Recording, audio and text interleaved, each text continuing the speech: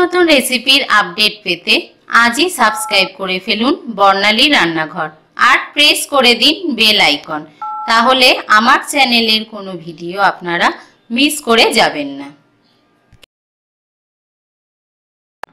নমস্কার বন্ধুরা, আমি বর্ণালী।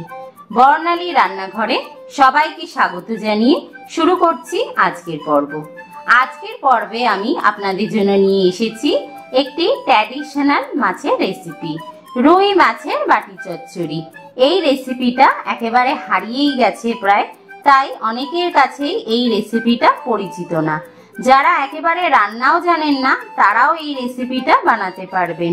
আর গরম সাদা ভাতের সঙ্গে খেতে অসাধারণ লাগে। চলুন তাহলে দেখে নিই কীভাবে বানানো হতো ট্র্যাডিশনাল পদ্ধতিতে রুই মাছের বাটি চচ্চড়ি। রুই মাছের বাটি চচ্চড়ি বানানোর জন্য আমি চার পিস পাকা রুই মাছ নিয়েছি। পাকা রুই মাছ দিয়ে রুই মাছের বাটি চচ্চড়ি ভালো হয়। একটা বড় সাইজের আলুকে পিস করে কেটে নিয়েছি আর একটা বড় সাইজের পেঁয়াজকে কুচি করে নিয়েছি। আমি ছোট সাইজের রসুনের কোয়া নিয়েছি দশটা। রসুনটা আমি আস্তই ব্যবহার করব। আস্ত ব্যবহার করলে এর ফ্লেভারটা বেশি ভালো হয়। আমি ছটা কাঁচা লঙ্কা নিয়েছি। কাঁচা লঙ্কাটা এখানে খুব বেশি ঝাল না, এখানে আমি ফ্লেভারের জন্য ব্যবহার করব। হাফ চা চামচ লাল লঙ্কার গুঁড়ো নিয়েছি। তবে ঝালটা যে যার পছন্দ অনুযায়ী ইউজ করবেন। এক চা চামচ হলুদ গুঁড়ো, স্বাদ অনুযায়ী নুন, আর এখানে চার টেবিল স্পুন সর্ষের তেল নিয়েছি। সর্ষের তেলেই রান্নাটা করতে হবে, তবেই ভালো হবে।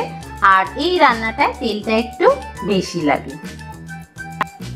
একটা কড়াই নিয়েছি। এই কড়াইয়ের মধ্যেই আমি রুই মাছের বাটি চচ্চড়ি রান্না করব।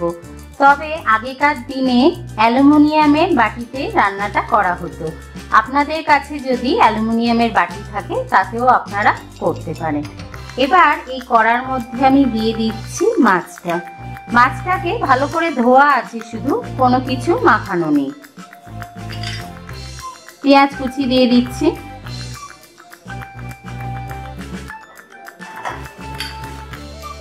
আলু দিয়ে দিলাম। রসুন, কাঁচা লঙ্কা। কাঁচা লঙ্কাটা আমি আস্তই দিলাম ফ্লেভারের জন্য, তবে বেশি ভালো যদি ঝাল পছন্দ করেন, তাহলে এটা চিড়ে দিতে পারেন। দিয়ে দিচ্ছি হলুদ গুঁড়ো, লঙ্কা গুঁড়ো,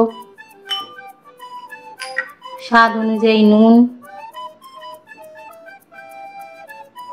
সর্ষের তেল। হাত দিয়ে খুব ভালোভাবে এটা মেখে নেব।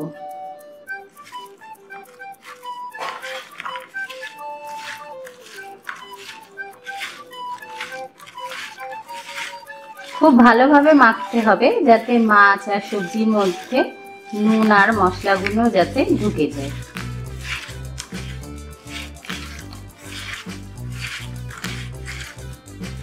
দেখুন, খুব ভালোভাবে আমি মেখে নিয়েছি। এবার এর মধ্যে দিয়ে দেব সামান্য একটু জল, খুব বেশি কিন্তু না।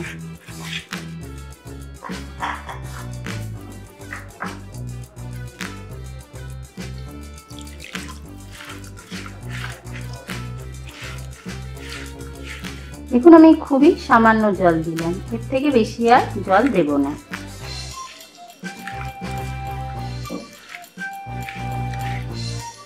খুব ভালোভাবে জলটা দিয়েও মিশিয়ে দিলাম। এবার চলে যাচ্ছি মূল রান্নায়। গ্যাসটা অন করে আমি কড়াটা মিডিয়াম ফ্লেমে বসিয়ে দিয়েছি।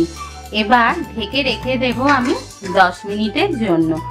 দশ মিনিট পরে আমি ঢাকা খুলে চেক করব রান্নাটা হয়েছে কিনা। দশ মিনিট হয়ে গেছে। ঢাকাটা সরিয়ে নিয়েছি। আমি মাঝে মাঝে ঢাকা খুলে নাড়াচাড়া করে দিয়েছিলাম। দেখুন, মাছ থেকে কত সুন্দর জল বেরিয়েছে, আর আলু পেঁয়াজ থেকেও তার নিজস্ব জলেই মাছ, আলু সুন্দরভাবে সেদ্ধ হয়ে গেছে। একটা আলু দেখুন, ভেঙে দেখাচ্ছি, খুব সুন্দরভাবে সেদ্ধ হয়েছে। এর থেকে বেশি ঝোলও রাখতে নেই, আর এর থেকে বেশি শুকনোও করে না বাটি চচ্চড়ি। একটু তেল তেল থাকতে হবে, ঠিক এই রকম। গ্যাসটা বন্ধ করে দিলাম। এবার ঢেকে রেখে দিচ্ছি পাঁচ মিনিট স্ট্যান্ডিং টাইমের জন্য। পাঁচ মিনিট পরে রুই মাছের বাটি চচ্চড়ি গরম ভাতের সঙ্গে সার্ভ করব। তাহলে দেখলেন তো কতটা সহজে বানানো হয়ে গেল রুই মাছের বাটি চচ্চড়ি। আর আমার এই রেসিপিটা অবশ্যই ট্রাই করবেন। ট্রাই করে আমাকে অবশ্যই আপনারা কমেন্ট করে কমেন্ট বক্সে লিখে জানাবেন কেমন লাগল আপনাদের রেসিপিটা আমার রেসিপিগুলো যদি আপনাদের ভালো লাগে, তাহলে আপনাদের ফেসবুক টুইটার হোয়াটসঅ্যাপ বন্ধুদের সঙ্গে ভিডিওগুলো শেয়ার করে দেবেন। দেখা হবে আবার অনেক ভালো ভালো রেসিপির সঙ্গে। সবাই ভালো থাকবেন, ভালো রাখবেন। ভিডিওটি দেখার জন্য সবাইকে অনেক ধন্যবাদ। বাই